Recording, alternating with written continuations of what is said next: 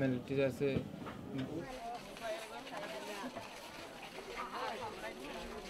Rohingya families I have met are no different from other refugees in one crucial respect. They want to be able to return home. And they have an absolute right to return home. But only when they feel it is safe enough to do so voluntarily and they know that their rights will be respected.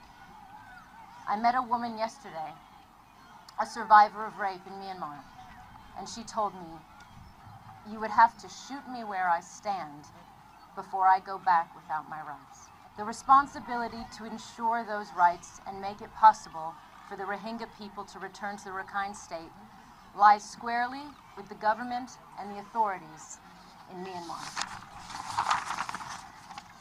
So I hope that they will recognize that this issue will not go away, just as we will not turn away from the Rohingya. I urge the Myanmar authorities to show the genuine commitment needed to end the cycle of violence and displacement and improve the conditions for all communities in the Rakhine State, including the Rohingya.